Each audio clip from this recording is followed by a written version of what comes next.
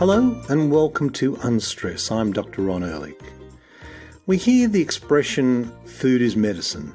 We also hear about the importance of the gut, the second brain, where 70% of our immune system resides, how important our relationship is with our microbiome. We also hear about climate change. It's a huge question, political question, economic, environmental. And of course, in the eastern half of Australia, we are going through what some are calling the worst drought in living memory. There's, of course, a connection between all of this, and it's very basic. We need healthy foods to be healthy. And we need healthy soil to grow that healthy food in, not just for today, but for the future as well. And when it comes to soil, it turns out that how we manage it how well we understand it is critically important. Farmers are in charge of all of that, often being advised by industry and regulatory bodies and academic institutions, which in turn are all influenced by industry, or a lot are. Sound familiar? Well, our healthcare could be said to be suffering from the same problems. My guest today is organic farmer Glenn Morris, whose organic beef farm is in the northern New South Wales area around Inverell. Like many farmers, Glenn studied agricultural science, ag science, and observed what the various practices were doing and noted that there was a vulnerability inherent in our land and how it was being managed. So he decided to go back and study more by doing a master's in sustainable agriculture, and in particular, the importance of the soil in building resilience, improving the land's ability to absorb and store water, and improve the nutrient value of the land. I hope you enjoy this conversation I had with Glenn Morris. Welcome to the show, Glenn. Thank you. Glenn, you are a farmer in northern New South Wales, and I was wondering if you could just share with our listener, many of whom may not be out on the farm, uh, living in the city, and give us a bit of a backstory about w- where you are now and how you got there. Uh, yeah, thanks for that. I'm, basically, I'm uh, living on a farm in the northern tablelands of New South Wales. Um, we're just off the top of the range, sort of heading west. Um, so we're about 40 kilometres um, just just coming down the slopes basically. So it's a nice little in between climate, if you like, from the real cold of um, the mountains and, and, not quite as hot as the the plains. So um, quite a nice spot to live normally. Hmm. And you've been there? Is that where you grew up? Uh, no, I actually, um, Ron, I was born on a property down near Goulburn, but um, due to different circumstances, fires, what have you, um, I ended up growing up in the city, and then uh, yeah, basically decided when I got to about 20 that I wanted to get back to farming, and I've made a career out of um, farming ever since. So, um, yeah, that's that's sort of I've just just been working my way up. But your farm is not an ordinary farm. Well, I wish it was. But uh, tell us a little bit about what your farm, what distinguishes your farm now. Uh, yeah, look, it, it, it, it's sort of interesting. Um, you know, basically, as I say, I just sort of made a career out of farming. I, I, I was trained conventionally, um, went to conventional ag college, and then the, all the time that I was sort of, you know, learning new techniques and that, I had this sort of, I suppose, intuitive feeling that um, the landscape was starting to get unhealthy, that the amount of chemicals I was seeing being used um, couldn't be good for anything to do with growing food or looking after biology. So, so over the years, I, have sort of been leaning towards, I guess, a biological and organic type of farming. And and uh, the thing that really set us apart um, was probably when I got the the full reins of a management job about 20 years ago. And I got the opportunity to start studying sustainable agriculture. So that made me aware of just how serious a lot of a lot of the ecological issues were in farming. Um, but the other thing that really um, changed the way we do things was I, I, was watching our landscape sort of go from a, a devastating drought, exactly like we've got now, and then we'd get like torrential rain, and and and that rain instead of being absorbed by the soil and helping heal the land and grow beautiful food would would in a lot of cases it would actually do a lot of damage. So we could see it again now, but it, it would tear off the landscape. And so we'd go from drought to flood to drought. Um, and with that, as well as doing the study on climate change and sustainable farming, I was I was seeing reports on how serious the issue of climate was. Um, and this was in 2000. So the reports I were reading were already 10 years old. Um, and that just hit home for me. I just thought, wow, you know, and I was seeing the climate extremes on the farm. So I was watching the water get away from the landscape. So we had a busted water cycle. We had extreme temperatures and climate change knocking on our door. And I, and I got quite sort of, you know, alarmed about it. And I thought, geez, you know, and, and one of the things that people have got to know about climate change, CO2 takes centuries to break down. So we've already got a lot of carbon dioxide in the atmosphere that's going to take centuries to break down. So I just thought, how are we going to, what on earth can we do to sort of deal with these big issues of water cycling, of, of climate change? And the third one that I was starting to touch on back then was we were looking at organic farming and I was starting to learn just how depleted our food was in nutrition. So three big issues that I thought as a farmer um, that deeply affect me what on earth can I do about it? And luckily, uh, you know, I had a really good friend that understood about soils, and I said, mate, this climate change thing, it's it's bloody serious, and I and and you know, what are we going to do? And and I and I was talking to him about the water cycling, and and he was actually a conventionally trained agronomist that had gone towards organics, and he said, Glenn, if we can build humus levels up in the soil, we can pull that carbon out of the atmosphere, and also humus can hold an amazing amount of water, and I and I sort of looked at him and I'd seen a few little bits of literature on the subject and I thought, if you're right, this is this is the biggest solution we have to actually getting the climate back in order and for actually getting the water cycle um, going again. So, so I went back to university and and I started to study a, a master's in sustainable agriculture at that stage, um, doing a special dissertation on on humus um, basically called securing Australia's water supplies by by getting a better understanding of humus. So um, yeah, and and and and so the thing there and and that that set us apart as a farmer right then and there was I realised we weren't just farming for food. We were actually farming for a stable climate, farming for a water cycle, and we have to connect. Um, it's the thing that the message we need to get out of this drought. We have to connect that every hectare of land is absolutely critical for, for restoring the climate, for restoring the water cycle, and for providing beautiful, nutritious food. So, yeah, that's, wow. that's a little bit about why we're different. Yeah. Well, uh, there's a lot to discuss there, Glenn. I mean, that's that's that is huge, isn't it? Because, of course, uh, you know, people think um, there's a drought on, and all we need is rain, and problems solved. But you made the point that actually that could be the beginning of another problem, and that is what we lose the soil as it gets washed away. And that is the problem in a nutshell, because the, the, the thing that, you know, after doing my master's and, and researching humus, the, the, the vital element that we need in our landscape, um, we need perennial vegetation and we need to build those levels of humus. So the first thing that we lose in a big flood rain event where there's a lot of erosion is actually that beautiful topsoil that contains the humus. So, you know, we, have got to get out of this cycle of degrading the landscape and we've got to get into a cycle of actually starting to build it. So, and it's really, really hard on people at the moment because they just cannot see the light at the end of the tunnel. But, but you cannot start building humus when you're, you've already got a degraded landscape. You have to actually get yourself set and we've done it twice we've i've taken over two degraded properties now i'm on my second 10 year project mm-hmm. and and and you've got to sort of say what can i do when we start to get some moisture that's actually going to start to build up the landscape and and get us get us through the next dry time. So yeah, yeah. I well, I, I, de- I we definitely want to discuss discuss how you're going about that. But let's just go back to the very beginning here because Conventional ag college is where a lot of farmers go. I mean, a lot of people who are out on the land want to learn as much as they can about being as efficient as they can. And so the logical place for that is to go, I guess, to an ag college, agricultural college. And, and, uh, these kind, what is taught there? What, what's the kind of basic message that, that gets taught in, in an agricultural college? How does it differ from what I, you're talking about?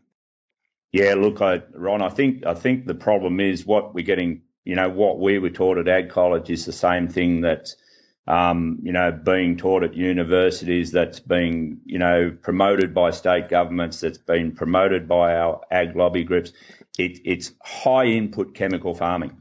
So, so if, if you want to grow a lot of food and, or a lot of plants or a lot of animals, um, you know, we're taught that you can actually do that synthetically.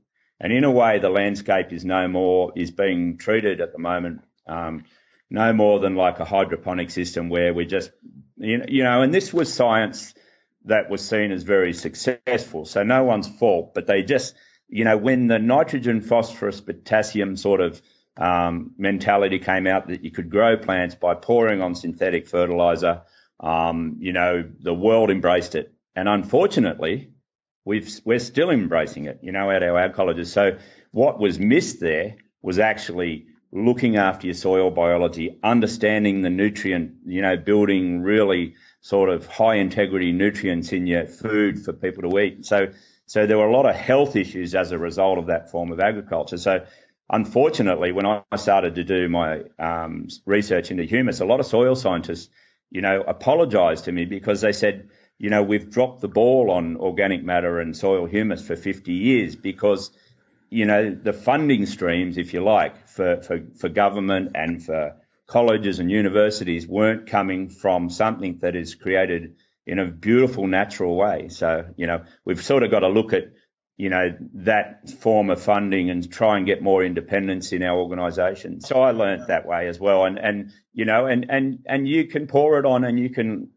and it looks like you're doing an amazing job. And yeah, as I say, unfortunately, the, the resulting products and the, and the unseen costs, um, that have happened to our environment are basically starting to surface now. Yeah. Um, well, the, the, you, now you've mentioned this word humus, um, and and you know, to the city person, they may think you're talking about a Lebanese uh, spread that goes on to you know bread. but but yeah, let's exactly. talk about that because it's so important, isn't it? I mean, uh, tell us what humus is and why it's so important. Yeah, look, um, it, it, it is it, it is so much more than something you put on. it's spelled differently anyway, isn't it? But let's uh, yeah. Go on. Yeah, but we could use that analogy if you like. So, so say we had a beautiful planet covered in beautiful fresh water and forests, and, and, and we wanted to actually make it really, really healthy. Um, something we could do is get our actually soil humus and, and, spread that over the earth. And as I've already sort of alluded to, we would um, actually correct some of the biggest challenges the planet's facing. But but I'll get back to explaining what it is. So um, you know, the scientists really struggled with humus because they took a scientific approach and they tried to break it into the humic acids and the fulvic acids and the different compounds. And but no one ever got a handle on what it was as a as a complete agent in the soil. And and and a lot of people are, are trying now to um, catch up. And but it, what happens is is the microbes, you know, in the soil they they they get the organic matter that that's just comes from everyday leaf litter and cuttings and you name it, any type of organic matter. And they break it down and, and then they start feeding on the sugars that the plants, a lot of people don't realize, but when a plant's growing, it's not all going into the top of the plant, it's or the roots. It's actually, the plants are clever enough to realize if they want good health, they'll pump 30% of the sugars they make from photosynthesis into the soil root zone. So the microbes are taking those sugars, they're breaking them down, changing them into beautiful, um, you know, healthy compounds for, for our health, and and they're they're building, combining them with the broken down organic matter. So so it's this process of totally breaking everything down and changing the compounds, and then what this miraculous process, and I call it the holy grail, because what happens is then the microbes reform it. So, so they'll take something like lignin, which is the woody material in a plant, they'll break its components apart and then, and then they start rebuilding it. And it's so this super molecular structure that, that is reformed and it can last thousands of years and it, and it's, it's got about 56% carbon. So that's the real opportunity with solving climate change because if it can last thousands of years and we can actually, you know, encourage microbes to make it in the soil, um, there we have our carbon locked safely away again. So, you know, hmm. beautiful process. But so, so the, um, yeah, the official explanation is it's, it's really like a, a, a floccule or a, or a polyglot collection of, of very large molecules, um, from that broken down organic matter that I mentioned.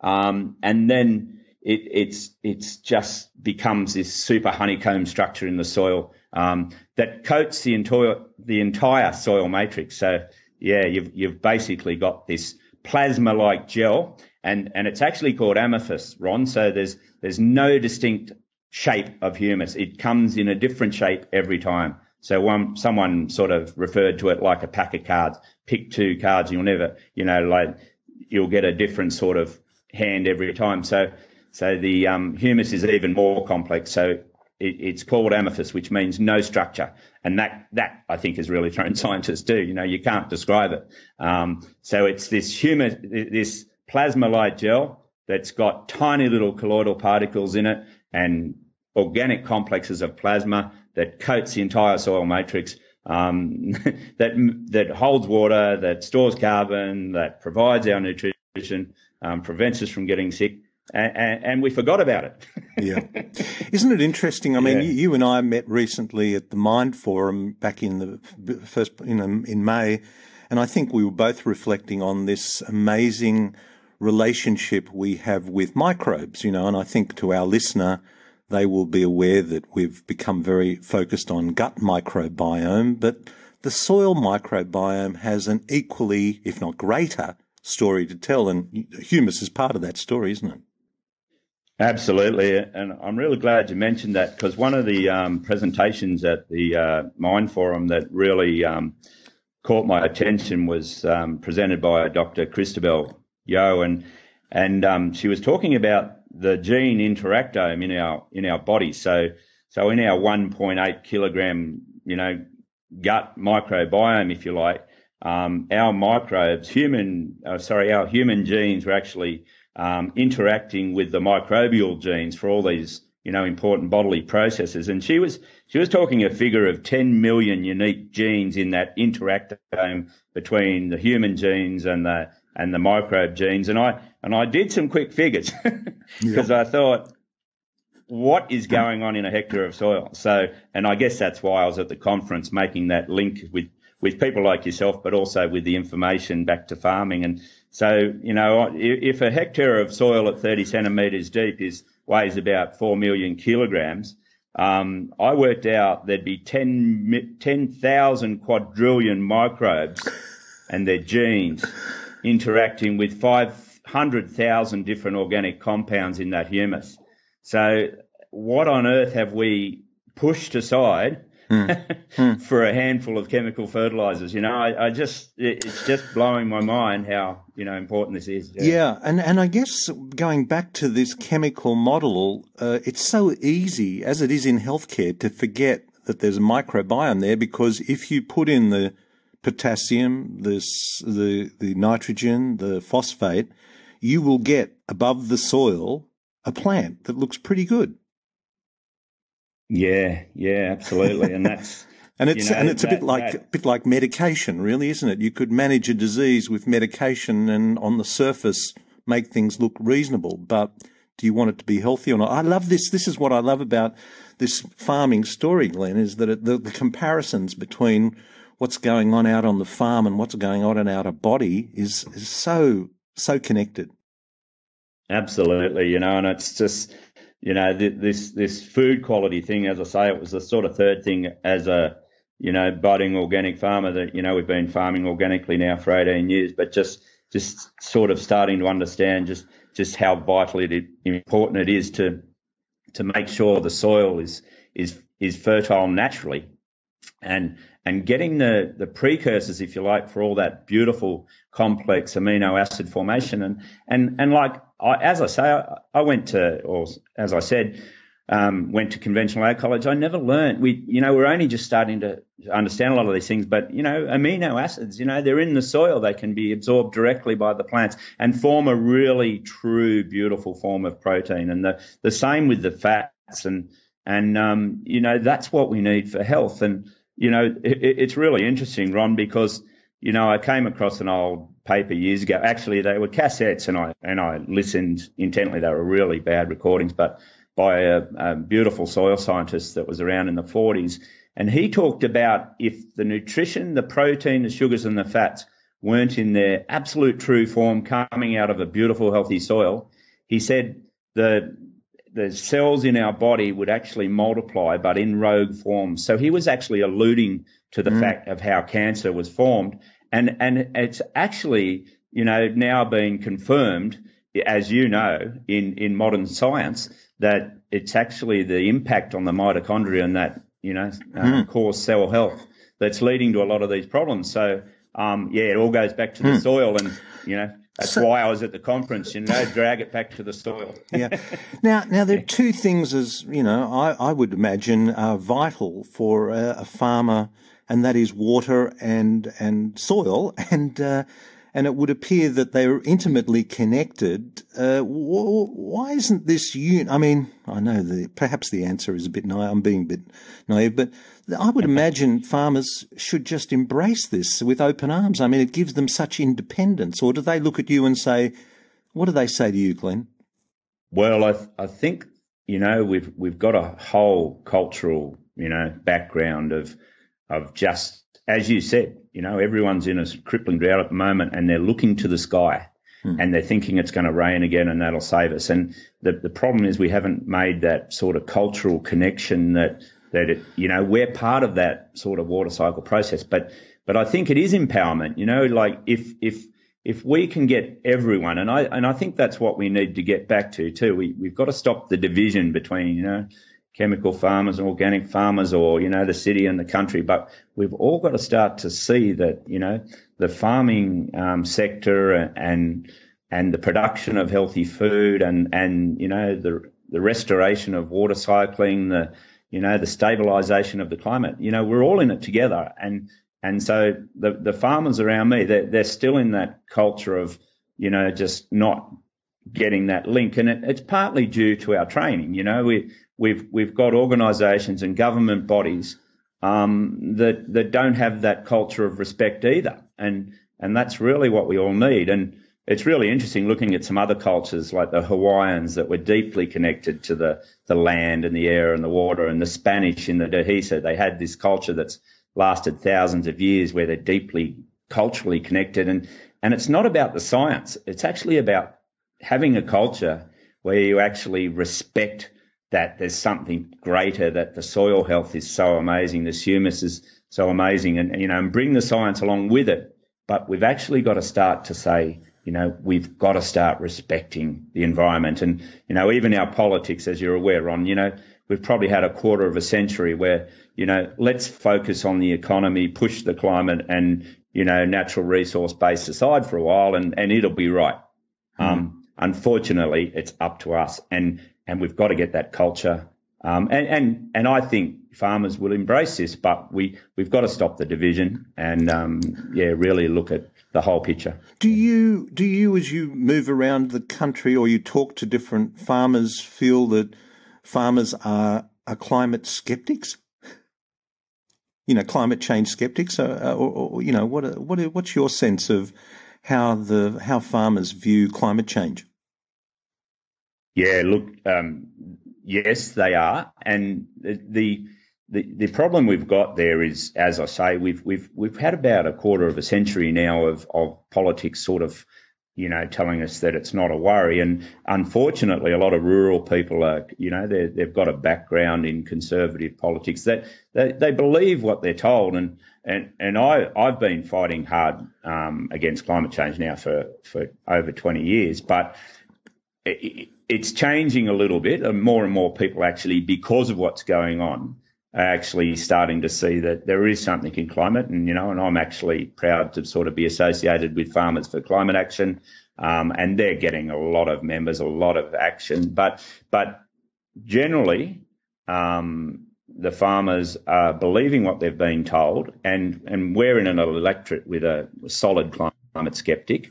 That's that been one of those people that have held things back, but he keeps getting voted in. So I think I think we've really got to start to question, you know, our leadership um, and on on issues which are actually starting to impact us very badly. So at the moment we're in a, you know, nearly the worst. Well, I think they're they're referring to it as the worst drought on record. And what really hit me the other day was driving through Tamworth, the sides of the mountains the eucalypts are dying everywhere. So we're starting to see a, a water shortage and a you know extreme heat, um, you know consequence of climate change occurring. And and once we lose those forests, the water cycling will get even worse. So so yeah, and and I put the responsibility squarely back on on the federal government because um, in 1988, Australia was leading the world in, in climate change awareness and action, and we had politicians all over the country actually taking steps. And then the focus swung back around to, you know, this might be damaging to the economy, so we'll just put it aside. It, you know, mm. we'll ignore it for a bit, but now we, we can't ignore it for any longer. No. Um, now, listen, your your farm is a cattle, organic cattle farm. Yeah, that's correct. We we um, we've got two farms. I, I um, when I said we're on our second 10 mm. year project, I, I spent 10 years on the Grafton property. It, um, as, I, as I mentioned, when I got there, there was, it was a very degraded resource base, um, built it up and, and then, um, yeah, moved over here for 10. But what we do on the Grafton property is that's where we run our breeders. So it's a subtropical environment. So we run a Brahman Hereford cross cow. Um, absolutely beautiful females. You know, they're highly productive. They they convert that um, subtropical grass a lot better than British cattle. So you know, beautiful females, and then we bring the progeny over to Inverell. And the reason we bought out west was we've got a really highly mineralized soil out here. You know, it's got a massive um, cation exchange capacity you know nutrient holding capacity, and um, so so you get this flavour in the beef that's just absolutely amazing, and and that's nutrition. So so we we bring the progeny out here to finish them. Yeah. Mm. Now let, us just talk about this Grafton property because you mentioned as a sort of a, an aside that it was a degraded property. What does that actually mean? I mean, and how did you change it? Yeah, thanks, Ron. Um, yeah, so so when I got there 20 years ago, it, it, it had been um, sort of neglected a little bit. I think the ownership was sort of in a process of changing and or succession changing, um, and the management had sort of you know been slipping, I guess, because they hadn't sort of gone out and employed someone that you know knew a lot about what they were doing. But anyway, I got there and it was basically the gates were open. Um, it was set stock. The cattle were roaming everywhere, chewing everything in sight. And, you know, the, the seasons had been a bit unfavourable, but it was also overstocked. And so, so very, very short grass. I think the mineral, it, it was a poor soil um, to start with because it's a yellow podzolic. It's a naturally a poor soil. Um, but then the management, you know, just overgrazing, um, depleting all the organic matter of the soil. So that's that was a big thing, and and um, but also the minerals. So no mineralization, no organic matter, no fertility, um, and and then as I say, you'd, you'd, sort of get this hard surface. You'd have no deep root systems to hold water or build humus. Um, and the water would literally, you know, you'd get six inches of rain over there and the water would just, you know, hit the surface and scream off. If any water did go in, this is another form of erosion, I guess, of depleting nutrients, but the water would go straight through because it was a sandy soil. So it would go straight through the soil and take all the nutrients with it. So, so you'd get leaching. Um, yeah. So, so basically, and it, know, it was a cat. It was a cattle, or it was a it was a cattle farm. It was. they had yep. been sort of, um, you know, running a straight British herd there, and the weaners were, you know, were really sort of performing badly. I guess that the cattle were performing badly when I got there. And um, now you yeah, mentioned so we, um, you, you mentioned two things there that I think would be worth explaining a bit, and that was the set stocking and the overgrazing, because that's a big part of regenerating the land too, isn't it?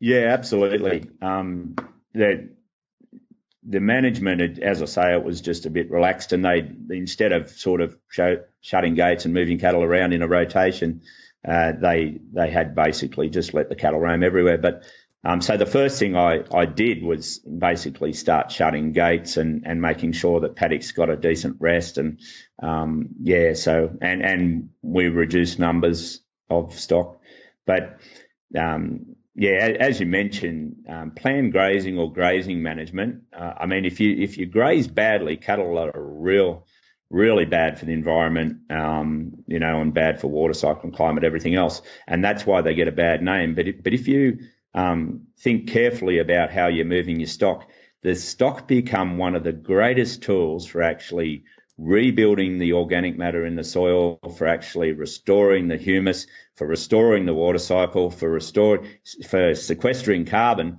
So we have this amazing tool, I guess, of, of planned grazing and livestock for actually, you know, doing something real about climate change. And, and that's what, a, uh, unfortunately, a lot of people that hear negative stories about livestock don't actually get that they're actually, if they're condemning livestock per se, um, overall, then they're actually condemning one of the greatest tools we have of dealing with climate change. So, so it's, it's not the stock that's doing the damage. It's actually the people behind the stock. And, I often say a good grazing manager is like a great artist because when you do it really well, you can actually turn the whole situation around. So we've we've got massive amounts of organic matter now. We're sequestering carbon. We're restoring water cycles, and we've got amazing amounts of biodiversity coming back as well. We're planting trees. We're you know we're doing whatever we can to en- enhance a really you know restored landscape, which is um it's a beautiful way to farm. Yeah, because that because that is something that I think uh, you know stereotypically we hear. Look, and it's why a lot of people go to vegetarian or even vegan. Um, you know, is is because of the ethics and the climate, the implication, the of of animal grazing, and this difference between overgrazing and and planned grazing is huge. Because I think a lot of us have driven along the countryside and seen huge paddocks and seen cows or sheep scattered across that. That's that's kind of what you would describe as overgrazing, wouldn't it? Yeah, absolutely. Um, one of the things about building, you know, your soil health and your carbon is, uh, is, is you need to sort of have those plants really healthy as well. And you know, probably about five days after a plant has been grazed off, it'll try and regrow again. So it'll a grass will try and shoot again, and and, and if the stock are in that same paddock when the plant's trying to regrow, you're actually starting to weaken the root system. So the roots are actually shedding and getting smaller. And, and then you end up with a sort of very shallow root system, which doesn't build the deep levels of humus and sequester the carbon. You're actually burn, starting to burn your carbon out of your landscape. Um, and that's when, you know, you're actually contributing to a degrading landscape. So it, it's quite hard for extensive farms in Australia to um, to get into a really um, fine-tuned plan grazing method, but but there is massive areas um, being done at the moment in Australia, and it's it's the way to go. Yeah.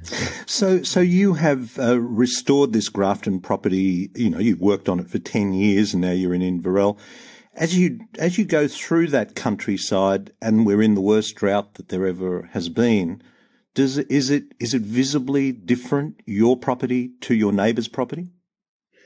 Yeah, look, it, it, it, uh, it, it's continuing to surprise me through this drought, Ron. And it's you know we took measures early in the drought. We um, we looked at our numbers back in autumn, um, late autumn, when our weaners normally come from the Grafton property to the Inverell property. And we said um, there's no point running the full numbers because we'll end up at the end of winter having to sell them when the markets are back. And so we, we reduced our numbers by a third to start with. Um, but even with the number of cattle that we did carry through, and a lot of people have had to totally destock, and, and some areas are a lot harder than we are as well. But but the work that we've done over the last 10 years, and, and people sort of asked me during this drought, you know, what are you doing about the drought? But, but it's not actually what we've done so much in the drought. It's actually 10 years of, of really painstaking management to try and get the soil health up and, you know, splitting the paddocks up, uh, putting the water points in, you know, doing some mineralisation, you know, and, and getting that humus up. And, and the hardest thing about focusing on soil humus and organic matter, you know, and people will say it and it's a throwaway term, but, you know, building humus, they say organic matter soils or dirt or whatever you want to call it it's not sexy. And, you know, and, and the thing is, I can't run into town and buy a, a truckload of humus and, and, and feel really proud and come home and drive my tractor around spreading humus because that's not how it works. What you've actually got to do is, is, is, is actually just use the methods of planned grazing and put your cattle in and give it a good rest, but, but keep the machinery and the chemicals away from it because we've got to start looking after that microbial workforce and it's back to your human microbiome. It's, it's respecting the microbes, you know, it's, it's leaving them alone, you know, stopping the compaction, stopping the chemical input. And, and so, so the property is really going well. And the Grafton property just went through two years of really tough time before this drought even set in. And, and we're running at full numbers down there at a cow per hectare, basically. Hmm. Um, and the cows are shiny and fat and, you know, the, the yeah. So, so do, do your neighbours who, uh, who've gone through ag school, uh, and who keep telling you you don't know what you're talking about, how, I just, you know, how could that escape them that something different is going on and that something different is positive? Uh, you know, I'm just, uh, I guess, am I being naive here? Is this just uh, me being silly?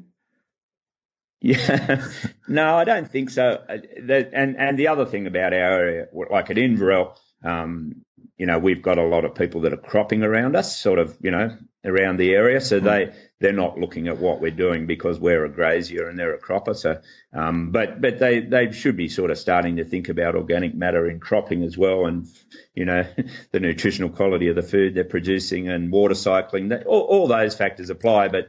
Um, down at Grafton, we've got a lot of grazers around us. What we've, what I'm finding, Ron, has been, you know, during this drought particularly, but there's little networks popping up everywhere. So they might not be right on your doorstep because sometimes it takes a bit more for a neighbour to sort of change, you know, looking, you know, very proud people on the land and, hmm.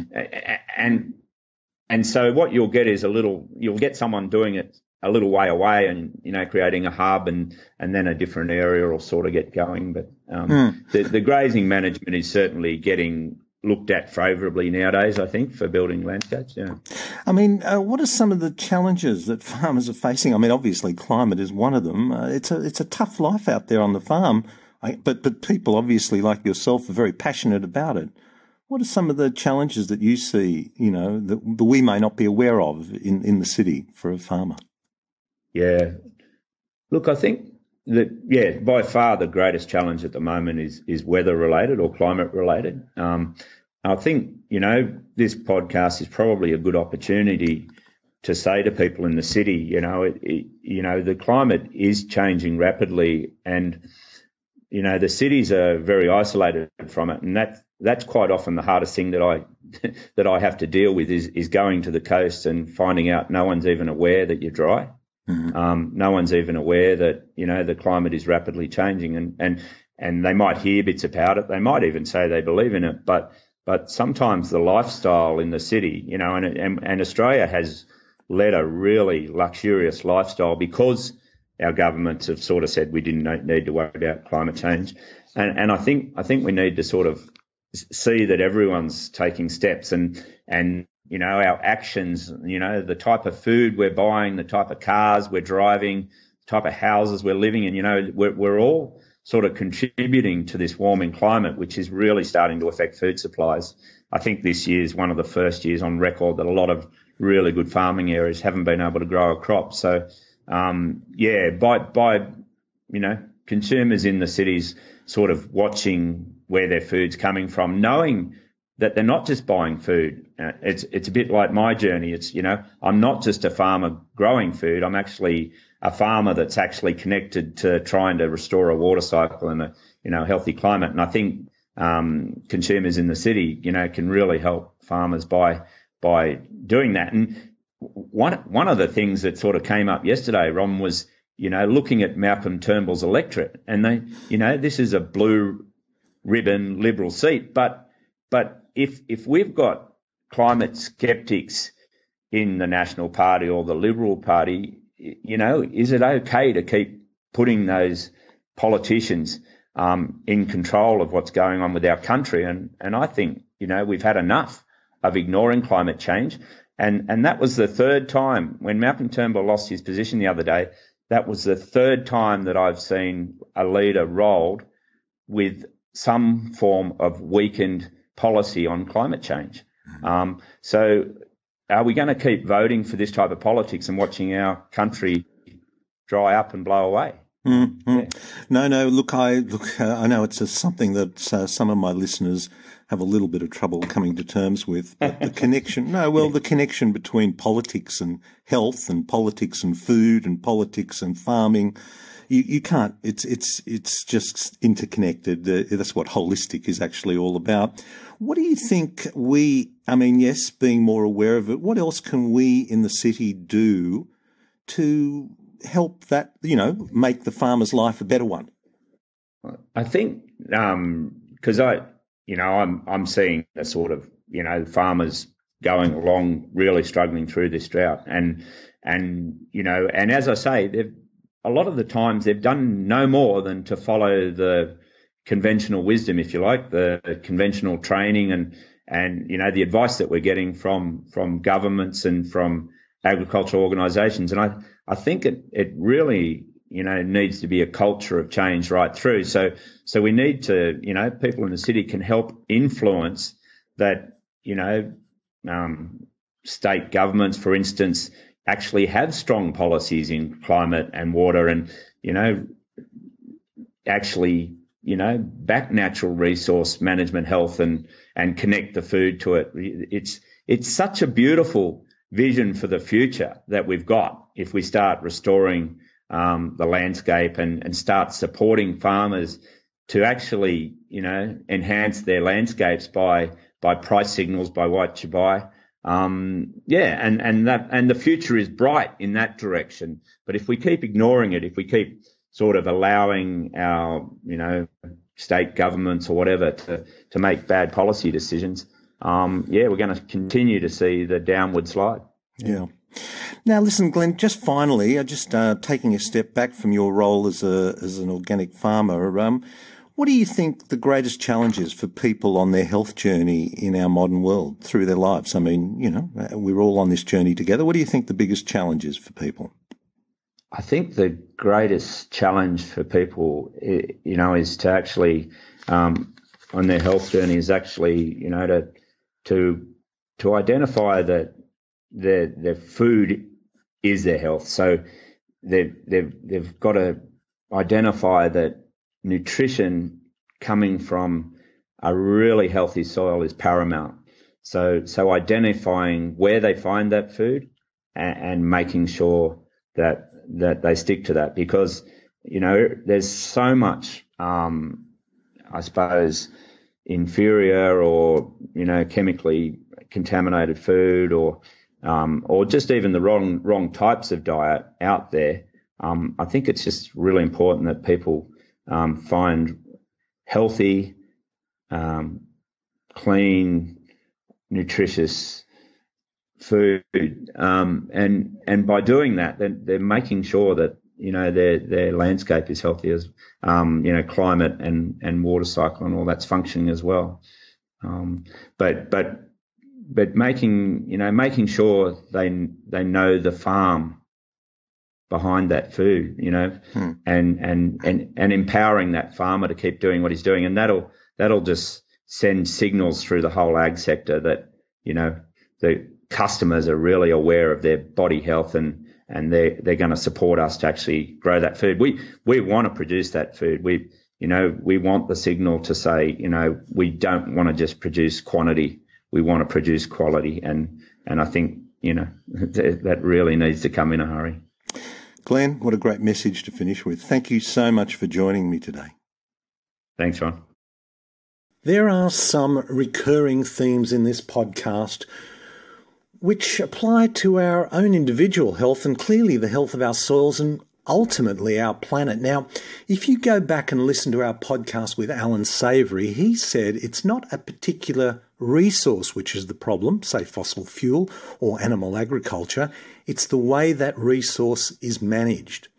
Allan introduced the term holistic context, which he described as the overriding principle which guides all subsequent decisions. He also mentioned that soil erosion is a huge problem.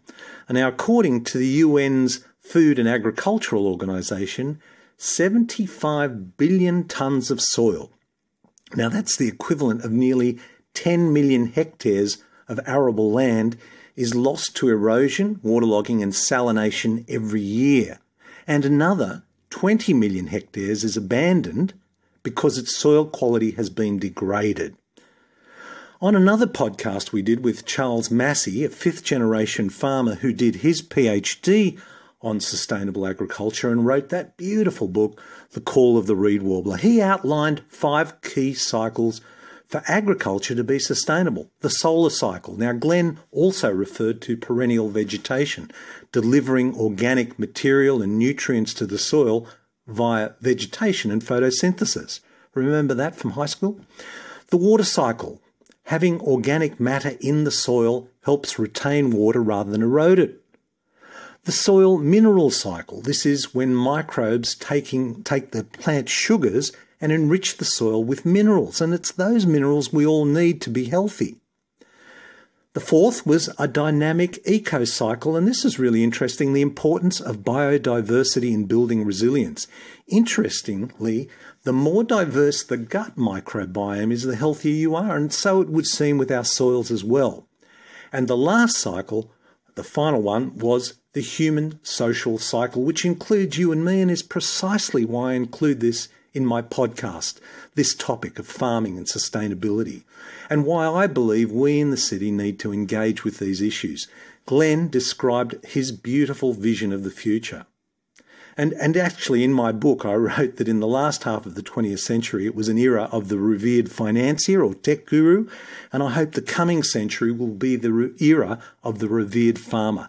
They grow the nutrient dense food we need to be healthy they, they nurture the soils for now and for future generations.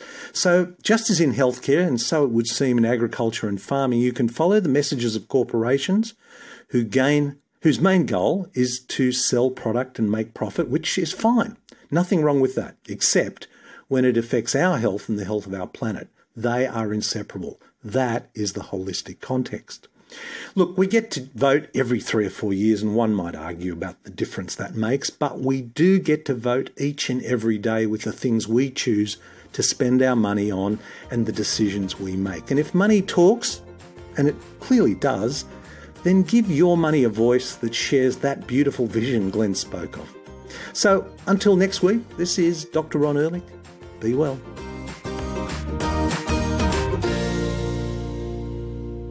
This podcast provides general information and discussion about medicine, health, and related subjects.